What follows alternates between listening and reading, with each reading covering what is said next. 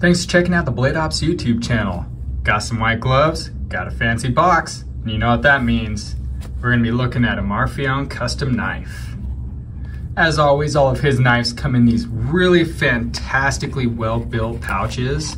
He, I really like these things. Has his dagger that's removable there, of course on the zipper as well. And these things are just constructed really well built. Nice heavy duty pouch. And of course comes with a declaration of authenticity. This one's an Ultratech M390 mirror polish with blue ringed hardware. Serial number two. All right, let's take a look at this. Of course, it also adds another layer of protection bag that it comes with. And there it is. This looks great. As you can see that blue ringed hardware already has his signet there. The ringed hardware on the glass breaker. Name, signet, serial number two, date, even the blue on the switch.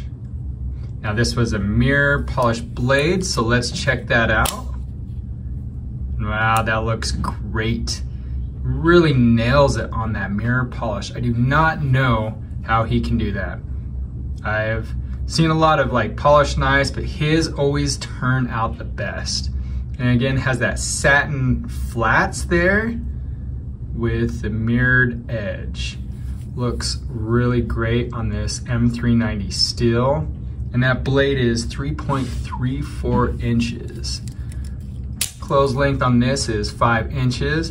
And as you can see, has those nice grind lines down this. It's a nice little extra looks really good on this knife. Overall weight is 3.4 ounces, so this one's gonna be a very light custom.